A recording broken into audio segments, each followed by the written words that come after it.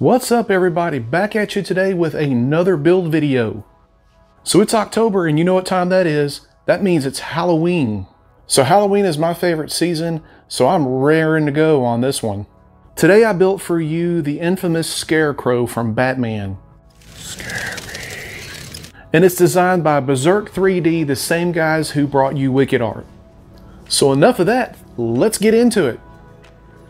So everything's primed at this point and I am going into the horse here and just laying down a black base coat. That way it gives me a good groundwork for um, what is about to come. This is my first time ever painting a horse.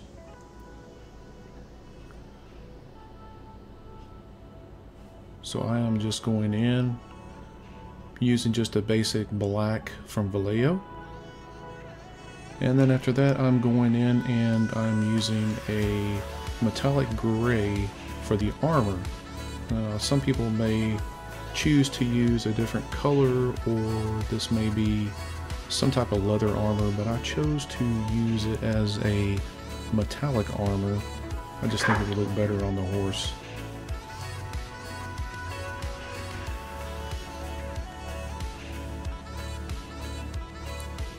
And this metallic gray is actually from uh, Tamiya. Goes on really, really smooth, covers a lot of area.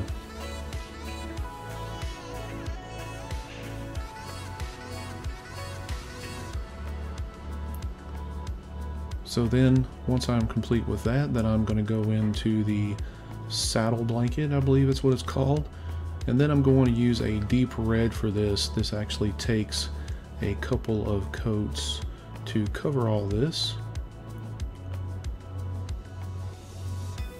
And then I'll actually go back in later on and uh, do some shading in there with the airbrush, hit it with some black, and then put a little bit of a light, lighter red highlights on it just to bring out some contrast and to bring out those peak areas.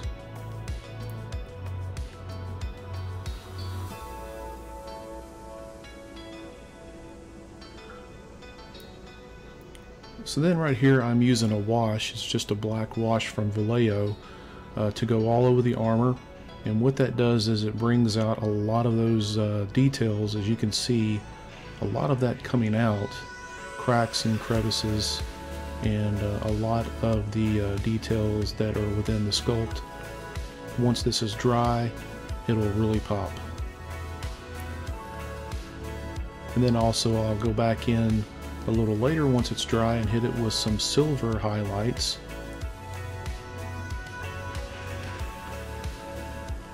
while that dries, I start on the figure itself. On the shirt, I use a light earth tone brown and give it just a good solid coat. I'll actually be doing a wash on this as well and I'll be painting the pants a little bit of a darker brown.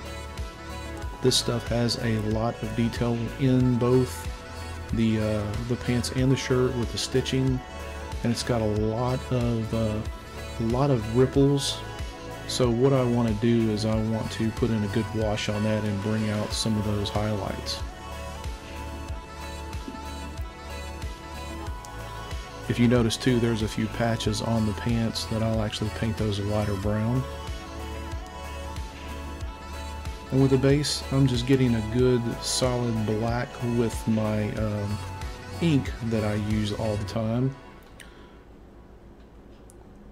This will lay a good foundation for the details in the canisters, the rock base, and then there's a metallic base on the bottom.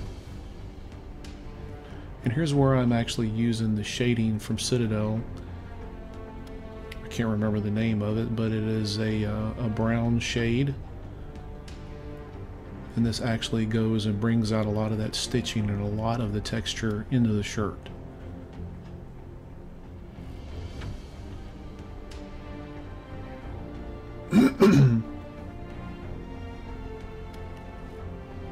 so a little bit later on I'll actually also use the airbrush to bring out some of the uh, some of the depth into the shading on the shirt.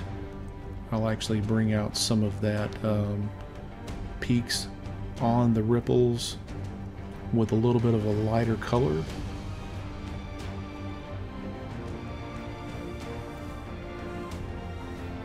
And on the black, on the pants, I use a black nightshade as well.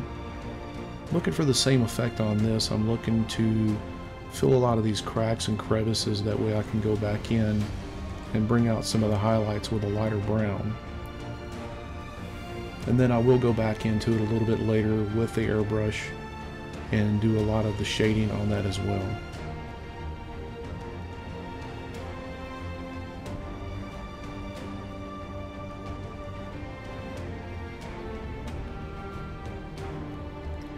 So again, while that is drying, then I'm going to go in with the mix of green that I uh, come up with to closely match the base.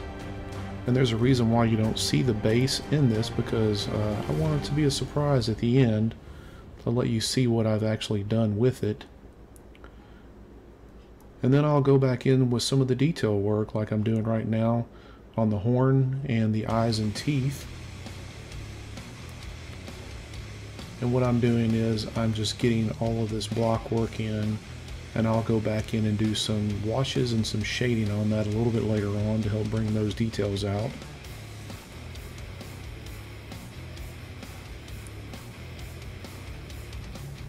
And yes, the horse does have teeth in its neck. It actually has a mandible um, or a mouth if you will. And right here is where I'm doing some of the dry brushing once the washes have dried. It brings out a lot of those high peaks and the ripples and the bends. Helps bring out a lot of that texture in the shirt and the pants.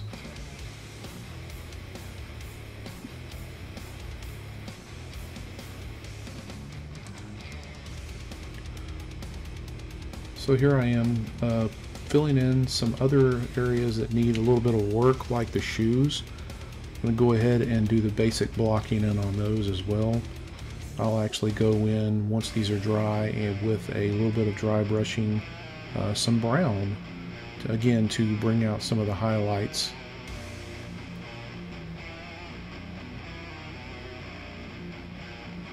And on the face, I've done a lot of the work already because I have to use my uh, extra set of eyes to get into some of the detail. Even though this is 1 6 it feels like I'm painting a 1 10 scale because it's fairly small. But here I am just putting in the last bit of details on the eyes and the teeth. And then I'm going in for a little bit of a bloodshot look here on the eyes with a red wash. I've already highlighted a lot of the hair with a little bit of a beige and a yellow mixture. And on the scythe here, I am just going in and blocking in the metallic gray. I also did this in translucent resin um, for the same to match the uh, to match the base. The base was done in green translucent resin by Elegoo.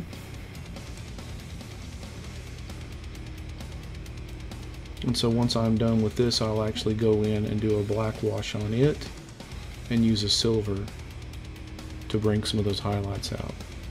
And this is the horse so far. Still a little bit of work to do. And on the base here, I start on the detail work where I am going in on the bottom and using metallic gray as well for the metallic part of the base. And I'm also going to do uh, some gray dry brushing um, on that as well to, to get some flat spots. The rock will be painted a solid gray as well and then I will actually do a black wash on it.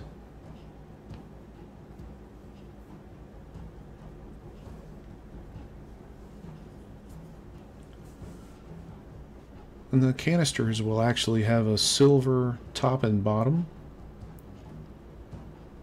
And then I will go and paint the center a lime green, sort of like I mixed up before that I painted the horse's uh, smoke from his eyes.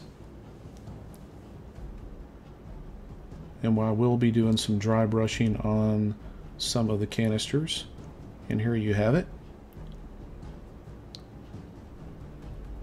And this is the completed model. Look at that base, guys.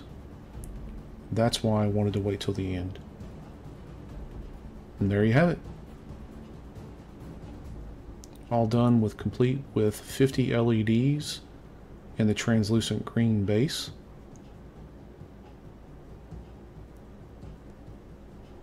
And this project is done.